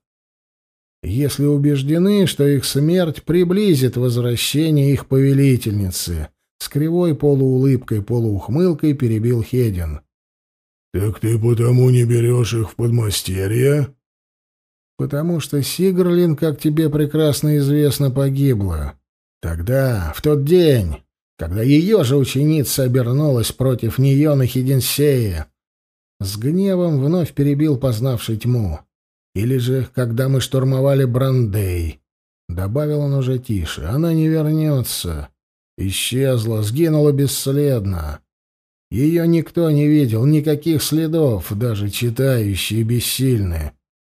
«Ну да, ее никто не видел живой, но никто не видел и мертвой», — возразил Ракот. И совершенно незачем заявлять об этом в открытую тем же рыцарям прекрасной дамы. Они могут оказаться полезны. Хедин только мрачно дернул щекой, отворачиваясь. «Ну, как хочешь», — пожал плечами Ракот. «Я их подкармливаю. Втайне, конечно. Глядишь, и пригодятся». «Не сомневаюсь», — процедил сквозь зубы, познавший тьму. «Подкармливай. Только чтобы я об этом ничего не знал. Как ты знаешь, мне не по себе от такого. Попахивает некрофилией. — Ты уже и так знаешь, — пожал плечами Ракот. И, помолчав, глубокомысленно добавил. — От себя не убежишь, брат. — От себя не убежишь. Что ж, спасибо за напоминание, — скривился Хедин. — Очень ново и оригинально. Ты, без сомнения, первым додумался до столь глубокой и поучительной сентенции. — «Не сердись», — примирительно сказал Ракот, кладя руку на плечо познавшего тьму. «Ты ведь любил ее, брат, и любишь и по сей день». «Ты сегодня положительно невыносим». Хедин резко поднялся. «Давай займемся делами. Мне казалось, их у нас хватает». «Несомненно». Ракот откровенно ухмылялся. «Но орден я все же призову. Такие мечи никогда не оказываются лишними. Делай, как знаешь. Сухо отрезал Хедин, прекращая разговор. Отвернулся и стал смотреть вверх в небо над мертвым миром, сейчас внезапно и резко затягивавшееся невесть откуда взявшимися тучами. Но теперь уже самыми обычными, дождевыми. Хлынул ливень, звонко забарабанил по иссушенной земле, и стоявшие лагерем дружины новых богов не прятались от него в палатках и тентах. Люди и нелюди в молчании подставляли руки под прохладные струи. Они знали. Познавший тьму и его названный брат победили. Жажда Кердина кончилась.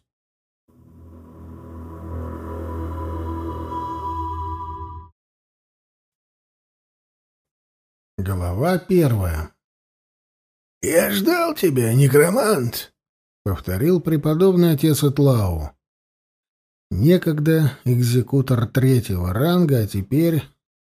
Кто знает, какое теперь занимал он место в тайной иерархии Святого Престола. Быстрее всех, как и положено, оказалась Рыся.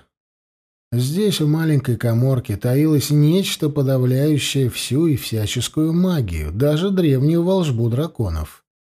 Девчонка не могла перекинуться. Зато свистнула, вспарывая воздух, гномья сабля. «Спокойно!» Инквизитор проворно отшатнулся. «Достопочтенная дочь моя, тебе нет нужды посягать на меня с оружием. Если бы я хотел причинить вам вред, поверь, уже бы причинил, а не вступал в разговоры. Давайте все-таки вложим мечи в ножны и поговорим спокойно. Фэс осторожно приобнял рысю за плечи. «Пусть он говорит, дочка», и повернулся, стараясь поймать взгляд Фейруза. Но смуглый мальчишка словно бы окаменел на пороге камеры. Невидящие глаза уставились прямо перед собой. «С ним все в порядке, сударь мой некромант», — поспешил Этлау. «Я надеюсь, ты не будешь на меня в претензии за этот маленький трюк». «Предатель!» — зарычала рысь, стиская фес сабли. «Нет нужды обвинять беднягу», — примирительно протянул ладонь инквизитор. «Он все-таки действительно был у нас служкой, а людей я запоминаю быстро и надолго». Ну и он помялся как бы в смущении. Возможности у нас тоже появились несколько иные, чем раньше. Это я запомнил еще по черной башне. Сквозь зубы сказал некромант. Значит, мальчик должен был привести нас к тебе. Котлау кивнул. И прости, что я задействовал негатор магии. Ты же должен его помнить еще по Эгесту и Кривому ручью. Фесс только усмехнулся. Это-то он помнил отлично. «Единственное, что ты также мог бы заметить, — продолжал инквизитор, — негатор подавляет любую магию в этой камере. Любую.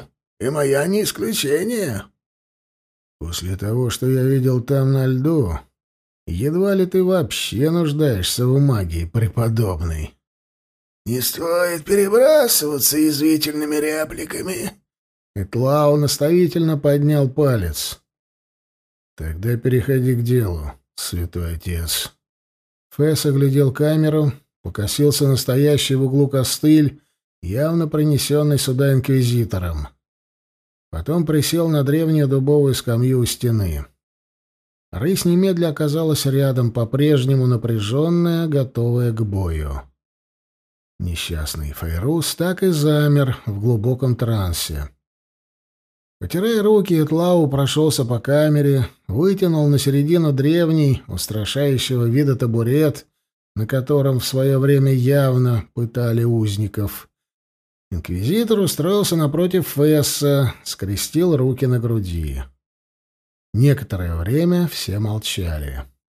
«Вот оно, значит, как!» Мысли некроманта прыгали, как испуганные кролики. «Мы можем поставить паренька на поводок за несколько добрых лик.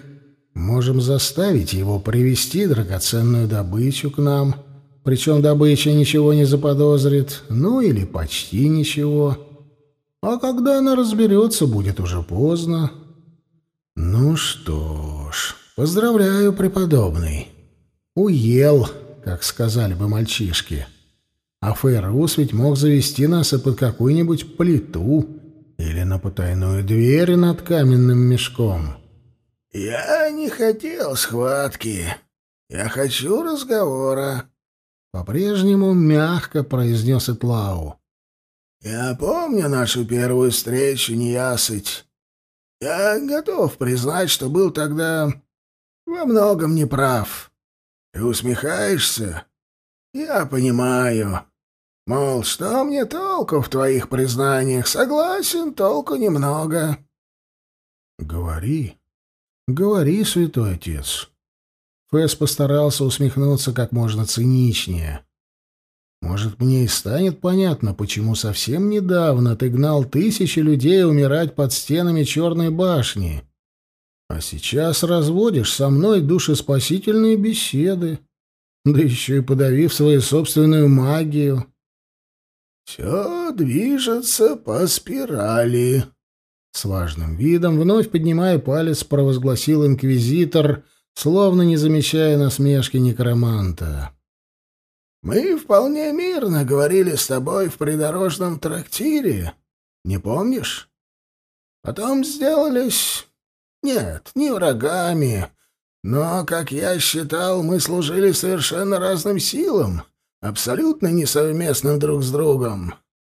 Я спасителю, ты тьме, пытающийся разрушить наш мир». И что же изменилось, святой отец? Фэс продолжал усмехаться, но уже больше по инерции. Взгляд инквизитора. В этом взгляде единственного глаза появилось что-то совершенно новое. Тоска, страх, неуверенность.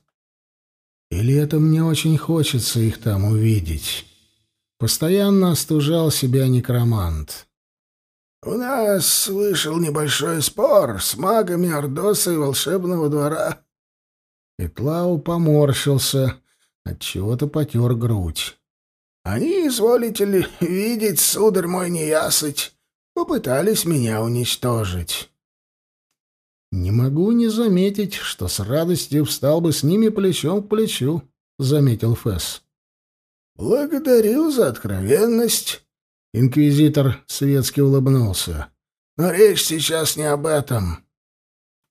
«И даже не о Борке, Гноме и Рысе Первой, с которых ты начал разговор», — подумал Фесс. «Некромант!» Отец Утлау глубоко вздохнул, словно набираясь решимости. «Ты умный человек и, конечно же, уже догадался, чего я хочу». «Нет. В эти игры я играть отказываюсь», — покачал головой Фэс. «Ты привел нас сюда, преподобный, тебе и речь вести, а я буду слушать». Итлау вновь скривил тонкий рот, вроде как любезно и приятно улыбаясь. Так, наверное, улыбалась бы змея, умея на это. «Неправильно», — вдруг сказал он. Неправильно играть, надеясь, что соперник совершит ошибку, где-то проговорится или что-то в этом роде. Я так больше не хочу, некромант. Похоже, ты единственный, кто может ответить на мои вопросы. Точно так же, как и я, тоже единственный, кто знает ответы на твои. И что? Стараясь выдержать спокойный тон, отозвался Фэс. Да, у меня много вопросов. Первый и самый главный. Что изменилось по сравнению с Черной башней? Ты уже не рвешься уничтожить меня любой ценой, святой отец? Ответ очевиден. Нет, не рвусь. Петлау устало потер ладонями щеки. Мы оба стремимся к истине, некромант. Только разными путями. «Поразительное признание из уст верного слуги Спасителя», — съязвил Фесс. Рысь одобрительно подмигнула. «В этом-то все и дело», — медленно произнес Этлау. «Верного слуги — это верно. Но вот спасителя ли?» Фесс лишь немалым усилием удержал на месте готовую отвалиться челюсть, Этлау усомнился? Светоч веры, кремень, готовый отправить весь мир в серые пределы, если это будет означать победу его бога? Я не случайно упомянул наш м, спор с магами. Тем временем продолжал инквизитор, явно заметив растерянность Фесса. Они замыслили покушение. Попытка уничтожить меня с помощью магии провалилась. И тогда Мигана в отчаянии решилась на последнее средство. вместе с наемником пырнула меня ножом, ударила в легкое, а ее головорез полоснул по горлу. Вот, смотри!» Итлау решительно распахнул инквизиторский плащ, распустив завязки рубахи. Рыся целомудренно отвернулась. Горло инквизитора действительно пересекал тонкий багровый шрам, совсем еще свежий. Свежим оказался и след на боку. «Удостоверься, что это следы от настоящих ран, некромант!» Итлау оставался убийственно серьезен. «Мне нужно твое доверие». «Я верю», — спокойно отозвался Фесс. «Неважно, на самом деле подлинные это шрамы или нет. Гораздо важнее, что же в конечном итоге хочет ему предложить этот хитрый лис». «Раны, как ты понимаешь, смертельные. Но я подготовился, я хорошо подготовился. Я остался в живых, Амигану пленил и доставил соответствующее место. Неваркин, предупреждаю сразу. Искать ее здесь бесполезно. Сейчас она под надежной охраной. Зачем мне это знать, святой отец? Итлау облизнул пересохшие губы. Я стараюсь быть откровенным, не ясыть. Поверь, это вовсе не просто после долгих лет когда говорить можно только то, что...» Он махнул рукой. «В общем, Мегана сейчас в наших руках, в руках святых братьев. Однако ей ничего не угрожает, я не собираюсь мстить». Фэс выразительно поднял одну бровь. «Да-да, не собираюсь, потому что я понял, отчего они хотели убить меня». Не будет ли досточтимый отец-экзекутор любезен развеять тьму моего невежества по этому предмету? «Язвишь, не ясыть!» — вздохнул Этлау. «Ну, неужто сам не догадаешься? Или уже догадался, но просто не хочешь говорить? Все ждешь меня?» «Ладно, ставим». Инквизитор запахнул плащ и подался вперед, глядя некроманту прямо в глаза. «Они решили, что я — слуга тьмы, такой же, как и ты».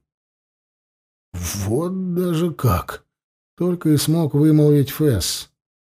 Похоже, отец-экзекутор преуспел, по крайней мере, в одном из своих начинаний. Сегодня ему уже дважды удалось удивить некроманта. Не даже как, а именно так. И не смотри такими глазами, дочь моя, я говорю чистую правду. Рысь сердито фыркнула. У тебя славная дочурка, некромант. По-хорошему завидую. Девочка-дракон скорчила гримаску. В нашем мире тьма тьмущая обездоленных, нищих сирот. В любой деревне крестьянин в голодное время с радостью продаст тебе младенца — да еще и будет молиться за твое здоровье, потому что так выживет и этот малыш, и другие его дети», — бросила она. «Возьми ребенка, стань просто отцом, а не только лишь святым или преподобным». «Твоя дочь умна, откровенна и справедлива», — Итлау повернулся к Фессу. «Да, ты права, прекрасное дитя. Очень надеюсь, что у меня останется достаточно мирных, спокойных дней, чтобы вырастить...» Он резко оборвал сам себя. «Речь не о том, не ясыть. Маги Ордоса и волшебного двора решили, что я — слуга тьмы». «Это ты уже говорил, инквизитор. Пожалуйста, переходи к главному». Щеки Тлау покрывал лихорадочный румянец. Единственный глаз блестел, инквизитор явно пребывал в страшном волнении. «Ректор Ордосской академии Анетта взбунтовал ряд полков армии, что была собрана для штурма Черной башни. Они двигаются на юг, к Аркину». Как мог насмешливо протянул Фэс, хотя ему, конечно, было совершенно не до смеха. Святой престол оказался между двух огней. С севера надвигается армия магов, полной решимости довести до конца начатое Меганой, с востока подступили птенцы Саладорца, да еще и моя армия мертвых. — Ты совершенно прав, — без тени улыбки ответил инквизитор. — На самом деле Святому Престолу угрожает еще больше врагов. Просто ты не о всех слышал. Из добровольного заточения вышли эльфы Нарна, вступив в альянс с Вечным Лесом. Королева Вейда отринула давнюю унию с Инквизицией. «Ну, да же!» — притворно удивился некромант. «Все предали. Но буквально все. Никому нельзя верить в наши дни. Решительно никому». «Ты, неясыть, сегодня изрекаешь исключительно прописные истины». Итлау и глазом не моргнул. «Но любезность за любезность. Зачем ты проник в Аркин? Нет, преподобный, покачал головой Фэс. Ты хотел говорить, не я. Вот и договаривай до конца. Предложить мне союз? В известной степени, кивнул инквизитор. Но меня волнуют не полки Паури, не подъятые тобой мертвецы, и даже, как ни странно, не птенцы Саладорца. Меня волную я, если можно так выразиться. Костяшки стиснутых и переплетенных пальцев отца-экзекутора побелели. «После того удара...» — глухо сказал он, морщась, словно от боли, и проводя пальцами по шраму на горле. «После того, что я пережил под заклятием магов, во мне родились сомнения». Я ведь умирал один раз неясыть. Умирал в Орвесте и был возвращен к жизни спасителем. Возвращен для особой миссии, как мне тогда казалось. А сейчас... Знаешь, некромант, где-то я даже благодарен Мегане остальным. Они, конечно, мятежники, вольнодумцы и ересиархи, но они оказали мне великую услугу. Догадываешься, какую? Они явили мне поразивший меня недуг. Страшный и, возможно, неизлечимый. Но я скажу просто и без патетики, предпочитаю смотреть прямо в лицо грядущему, пусть даже лишь одним глазом. И ты хочешь, преподобный, чтобы ты с кем непосредственно говорила тьма, Понижая голос до шепота, наклонился вперед инквизитор. «Чтобы ты помог мне отыскать ответ». «За просто так?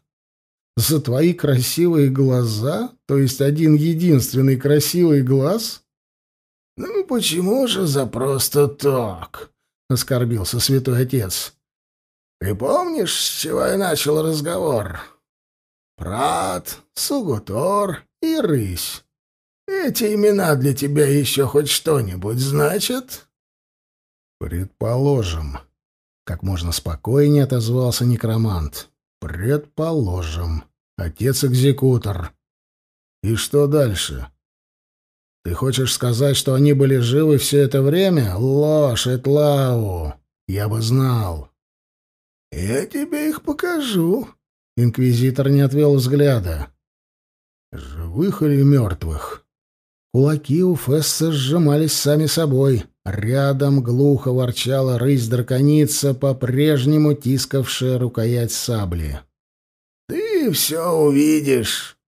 Живых или мертвых?» — взревел Фесс одним движением, оказываясь около сидевшего инквизитора и сгребая его за грудки. Петлау не сделал попытки освободиться но некроманту показалось, что с таким же успехом он может пытаться сдвинуть с места конную статую кого-нибудь из древних мельинских императоров. «А говорил, без магии!» — спылила рыся. Этлау небрежно отмахнулся. «Вновь повторю, ты мудра, дитя. Это сидит во мне, вгрызлось так, что...» Он только покачал головой. Тут не поможет никакой негатор. Некромант отпустил экзекутора. Тяжело дыша, отступил, почти рухнул на грубую скамью. Пока не добьюсь от тебя правды, не станешь ничего делать, верно? Понимаю, понимаю. Ну, хорошо, скажу так. Орка и гнома ты, наверное, еще сможешь вернуть к жизни. Тут помогут только твои знания. А вот с девушкой все куда хуже. Ее нет ни среди мертвых, ни среди живых. Припомнилось Фессу. «Я смогу провести вас к ним», — продолжал обещать Итлау. «Все уже приготовлено». В углу валялся небрежно брошенный мешок. «Там одеяние святых братьев. Мне никто не дерзнет задавать вопросы». Сердце Фесса бешено колотилось. Он ведь уже слышал эти речи. Давным-давно, кажется, в совершенно иной жизни, в иссушенной Саладорской пустыне, окруженной войском все того же преподобного Итлау. Смотри, роман «Одиночество мага», том первый. Отец-экзекутор второго ранга Иероним из Эгесской консистории. Тогда он им не поверил. Счел, и не без оснований хитро расставленной ловушкой. Не поддался. А выходит, отцы-инквизиторы не лгали? Он быстро взглянул на рысю. Она явно тщилась что-то ему сказать, но, увы, негатор отца Итлау блокировал даже врожденную способность драконов к мыслеречии. Сферрату это бы очень не понравилось, — мелькнула мысль. Что ж, Пойдем. Кажется, голос меня таки выдает, — подумал Фэс. В конце концов, напасть ты мог и сейчас, если, конечно, не решил покуражиться, расплатиться за некрополь, за кривой ручей, за все. «Напасть я мог давным-давно», — кивнул Итлау. «Но мне нужно сейчас совсем иное». «Сюда, пожалуйста». Он с подчеркнутой учтивостью поднялся, указывая на дверь в левой от себя стене. Некромант покосился на Фейруза. Что-то было не так. С самого начала. «Ну, конечно!» Фэс подавил острое желание хватить себя по лбу. Негатор магии. По словам инквизитора, артефакт подавлял всю магию, включая его, Этлау, собственную. Видать, не подавлял. Или же инквизитор с присущей святым братьям предусмотрительностью оставил себе путь отступления. Рыся тоже выразительно покосилась на смуглого паренька, правая ее бровь задралась почти до самой челки. Тоже поняла, и, скорее всего, именно об этом и хотела предупредить. «Прошу за мной!» — повторил Этлау, поворачиваясь спиной и первым шагая через порог. Фэс и Рыся осторожно последовали за ним. Словно сомнамбула двинулся и Феррус. Низкий коридор, гладкие стены, гулкое эхо. Тьму прорезал яркий фонарь в руке инквизитора. Четверо шагали подземельями Аркина, шагали в непривычной для некроманта магической тишине, если можно так выразиться. Он ничего не ощущал. Шел, словно обычный смертный. Негатор чародейства получился у преподобного Итлау просто на славу. «Скучно так шагать», — вдруг прозвенел голосок рыси. «Достопочтенный отец, могу ли я спросить?»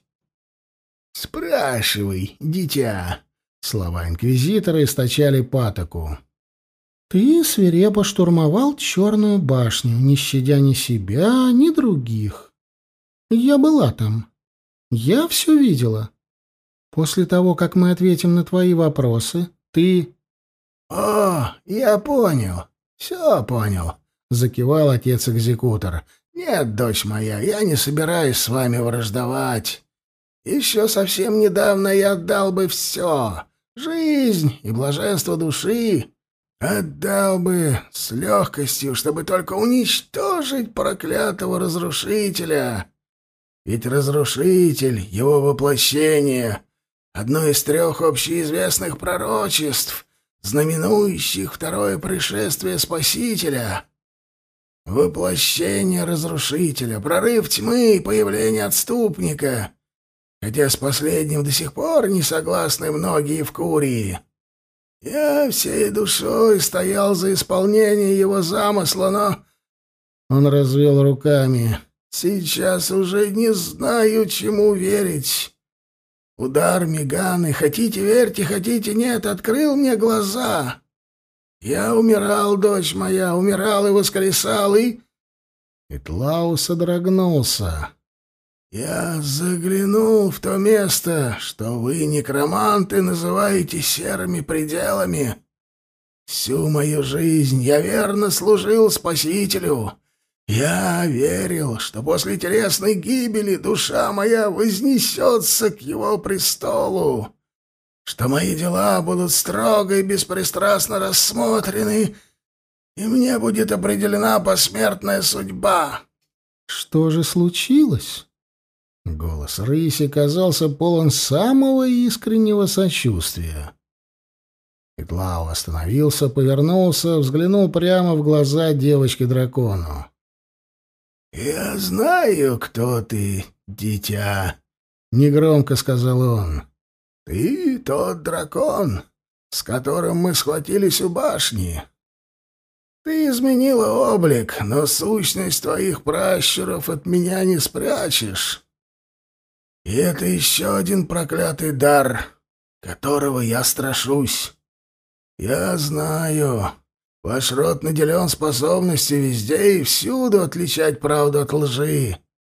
Вы легко читаете в людских душах. Я говорю тебе правду, дитя. Когда кинжал Меганы дошел мне до сердца, я умер. На краткий миг, но я умер. Я не чувствовал боли, ничего. Но я видел весь Эвиал, от крайнего западного предела, залитого тьмой, до последних укрывищ богомерзких доттов на востоке. И я видел... Голос упал до почти неразличимого шепота. «Я ощутил ее!» Во мне куда яснее и четче, чем стоя под истребительным заклинанием мордосских магов. Я ощутил ее во мне, понимаешь, некромант, так же, как, наверное, и ты ощущаешь ее в себе. После этого я был сам не свой. Плохо помню, что творилось со мной. Я убил наемника, пленил Мегану, пытался убить Анетта. Маги обратились против меня. Многие святые братья, вставшие на мою сторону, погибли. Я скорблю обо всем и обо всех, но сейчас самое главное, чтобы ты смог помочь мне, не ясыть. Не переставая говорить, Итлау повернулся и зашагал дальше по коридору.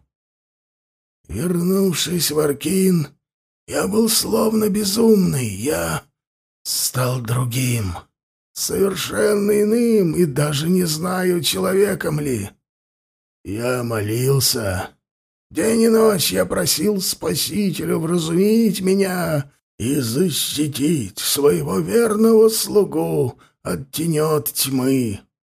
Он не отозвался, — спокойно заметила Рыся. Она не спрашивала, она утверждала. А ведь после Арвеста ты верил, что именно он спас тебя. У инквизитора сквозь зубы вырвался сдавленный стон. «Да, я верил. Я думал именно так. Но сейчас я вижу только тьму, чувствую только тьму.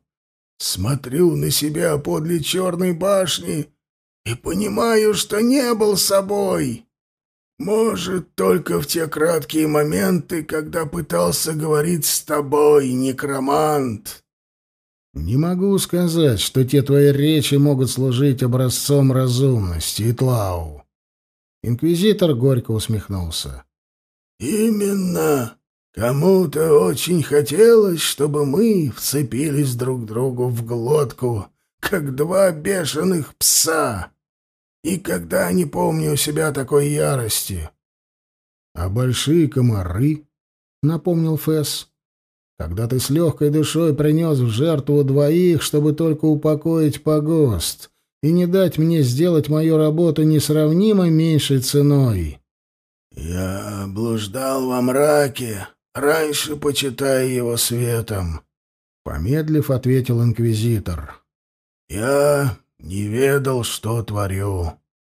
Сейчас, конечно, я понимаю, что совершил немалый грех — Впрочем, здесь никто не может похвастаться незапятнанной белизной, кроме, конечно, ее.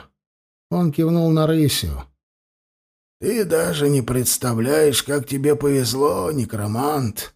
У твоей дочери чистая душа, без единого пятнышка. Спасибо за комплимент, отозвалась рыся. Но все-таки, святой отец, как же быть с...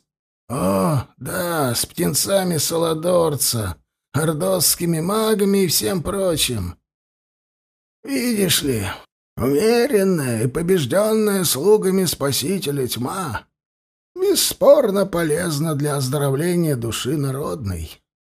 В голосе инквизитора послышался давно знакомый некроманту пафос. «Угроза тьмы сдерживает гибельные страсти, я не знаю, что случится с Авиалом, если по милости Спасителя в один прекрасный день мы каким-то образом избавимся от нее. Мне не нужны катастрофы. По секрету и только между нами я вполне смирюсь с существованием этого зла. Да, будут оживать кладбища, умруны станут нападать на мирные деревни — но это зло понятное, и как бороться с ним известно. Например, не сдержавшись, осведомился Фэс. Например, не чинить препятствий факультета малифицистики, отозвался инквизитор. Разумеется, не чинить препятствий следует понимать, не чинить онное сверх необходимого. Это понял даже Святой Престол — выпустив соответствующую энциклику. Тебе должны были о ней говорить, бедняга Иероним, да... Профессия некроманта требует особых людей, это яснее ясного. Не новых саладорцев, нет. Именно таких, каким ты был неясыть, когда сошел на причал несчастного Арвеста, Простых и честных бойцов с реальным и конкретным злом, который выбирается из могил и разрывает людей в клочья, неважно, взрослых, стариков или детей, вплоть до младенцев в колыбелях. Святой престол раньше тоже мог ошибаться, говорю я сейчас. Это именно мои слова, а не вложенные в мои уста неведомо кем. Вот что я бы хотел видеть с известными изменениями. То, как выглядел Виал до того, как ты появился в нем неясыть. Не слишком ли поздно, инквизитор? Западная тьма нашла дорогу за очерченные ей пределы. Черная башня — ясное тому доказательство. — Не поздно, — покачал головой Тлау. — Я верю, что не поздно. Пока ей нужны человек-орудия, еще ничего не поздно. План твой, конечно, хорош, святой отец, заметил Фэс, но я решительно не вижу путей к его осуществлению. Если бы я видел их сам, не сомневайся, не ясыть. Я бы уже посвятил тебя во все подробности. Пока же мне нужен ответ на мой вопрос. Коридоры ветвились, расходились, сплетались и снова расплетались. Несколько раз отец-экзекутор отпирал тяжелые железные двери, со скрипом поворачивавшиеся на покрытых ржавчиной петлях. «Для чего тут вырыли все эти лабиринты?» — осведомился некромант. «Тут же ничего нет. Совсем ничего». «Ты просто не видишь». Этлау остановился прямо посреди коридора, протянул руку, нашаривая какой-то одному ему ведомый выступ на гладкой стене. Послышался глухой рокот, и плита опустилась. За ней открылась железная дверь.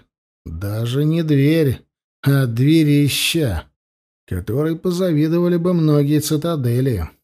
«Здесь помещались заклинательные покои, когда Святой Престол не жалел сил на разработку наших собственных магических систем», — пояснил Итлау. «Со временем, к сожалению, многое пришло в запустение». «Заклинательные покои», — пробормотал некромант. «Разумеется, посуди сам, неясыть. Как мог знать сюда дорогу простой мальчишка, совсем недолго прослуживший у нас под палачиком?» Ты оказался очень неосторожен, некромант. А вот сейчас начнутся куда более интересные места, так что я, пожалуй, даже приглушу свой негатор.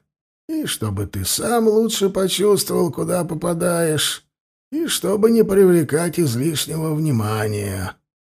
Среди святых братьев есть такие, чье внимание сейчас было бы нежелательно. Дипломатично закончил преподобный. Мгновение, и на Фесса словно обрушилась лавина. Такое чувство, наверное, бывает у человека, долго проходившего с плотными затычками в ушах и, наконец, вынувшего их, причем на самом краю рыночной площади, где идет большое гулянье. Магия пронзала каждую сожжение аркинских подземелий. Невольно некромант вспомнил, как распятый лежал на решетке, там, под серым небом, на лобном месте, лишенный всех сил, не могущий обратиться к чарам. А здесь... Здесь каждый камень был пропитан волшебством. Скала цепко хранила память прозвучавших некогда заклинаний. «Прислушайся, прислушайся получше, некромант!» — заметил Итлау. Фэс последовал совету. Здесь смешались все мыслимые и немыслимые виды чародейства. Здесь не брезговали даже человеческими жертвоприношениями, пытаясь подобрать ключи к тайне неупокоенности.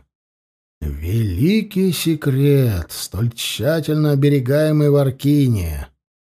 Этлау выдавал его небрежно, почти играючи. Конечно, большие комары Фэс не забыл бы вовек, но знать, что святые братья долго и упорно разрабатывали изуверский ритуал, долго учились управлять высвобождающейся силой, добились, правда, все равно немногого, если вспомнить, как по-варварски распорядился одноглазый отец-экзекутор — свалившейся на него после обряда мощью.